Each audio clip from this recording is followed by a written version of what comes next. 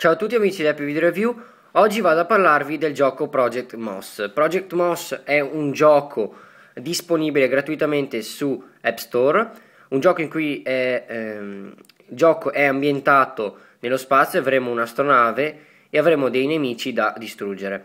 Questo gioco necessita di una connessione per poter essere ehm, connessi al server per poter trovare i vari nemici. Andiamo subito a vedere di, eh, la composizione del menu principale, menu principale che eh, ci permette subito di andare in gioco con il play centrale, possiamo visualizzare le istruzioni, eh, istruzioni ovviamente in inglese su come effettuare i combattimenti e quant'altro, abbiamo eh, sulla sinistra l'interazione con il game center per visualizzare i punteggi dei nostri eh, amici di altri giocatori, i crediti dei sviluppatori e qui in basso a destra abbiamo l'interazione con Facebook e Twitter per seguire gli sviluppatori. Andiamo subito in play, abbiamo varie astronavi fra le quali scegliere. Ovviamente per poter sbloccare un'altra astronave dovremo ehm, conquistare un numero ehm, di punti, per esempio questa eh, necessita di 1000 punti, in questo caso io ho 0 punti perché non ho mai finito una partita completamente, eh, quindi devo utilizzare la prima che è già eh, sbloccata. Attendiamo il caricamento, ecco qui. Ehm, la modalità di gioco è molto semplice, noi eh, all'orizzonte vediamo questi bersagli che sono identificati eh, da una croce verde, quelli ehm, che non dovremmo che, e che non potremo comunque colpire mentre una croce rossa i nemici. Andremo semplicemente a fare un tap sulla ehm, croce rossa dei nemici e eh, uscirà un quadrante con un conto alla rovescia e quando il conto alla rovescia sarà eh, concluso il nemico verrà distrutto.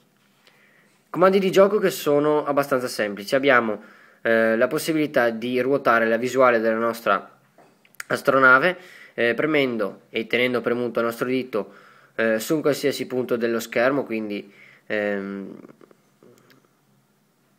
un comando molto semplice, come si può vedere ecco è comparsa una croce rossa, qui abbiamo eh, la possibilità di fare uno switch fra i vari sensori, questo sensore permette di individuare meglio i bersagli ehm, perché utilizziamo uno sfondo ehm, con un colore più chiaro rispetto alla galassia, quindi possiamo inquadrare meglio.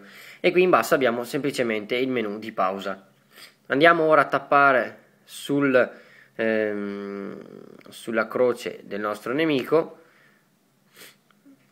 Vediamo se riusciamo a prenderlo.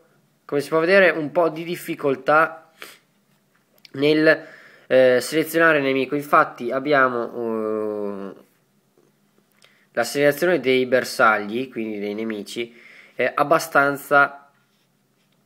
Eh, le croci sono abbastanza piccole, quindi se eh, vogliamo selezionare il nemico dovremo fare più tentativi perché eh, le croci si sovrappongono ed essendo anche abbastanza eh, di una dimensione molto ridotta, eh, il nostro dito copre completamente la sagoma del nemico quindi avremo qualche problema però eh, nulla di che, eh, come si può vedere si riesce tranquillamente a selezionare il nemico e a distruggerlo.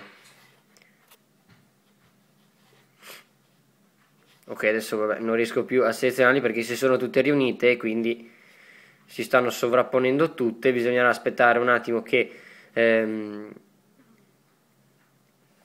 eh, si allarghino i vari bersagli per poi poter selezionare quelli da distruggere. Non si può vedere contro la rovescia, dopodiché l'astronave nemica eh, verrà distrutta.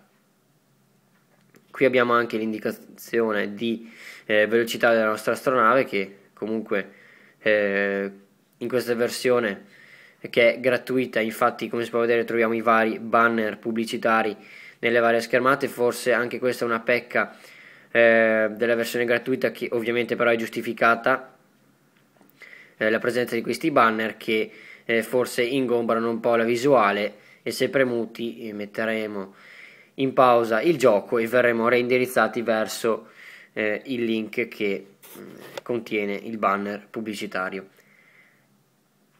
Ok, distruggiamo questo, poi ritorniamo al menu, ritorniamo al menu principale. Eh, come si può vedere qui c'è il tasto per fare un upgrade alla versione completa, quindi andremo a rimuovere questi banner. Eh, poi non so che altre novità possono essere introdotte, quindi però eh, credo che per rimuovere i banner eh, dovremo comprare la versione completa, però la versione completa non credo aggiunga altre novità o possibilità. Che dire questo gioco? Questo gioco sicuramente ehm, ha vari pro, che potrebbe essere quello del prezzo, un prezzo gratuito per avere questa versione eh, diciamo di prova. Un gioco che eh, non eccelle sicuramente nella grafica, eh, però abbiamo comunque eh, un gioco che funziona. Eh, I contro invece potrebbe essere i banner pubblicitari, però sono giustificati nella versione gratuita e eh, forse i bersagli troppo piccoli per essere selezionati, eh, quindi potremo trovare alcune difficoltà. La video recensione si conclude qui, ciao a tutti!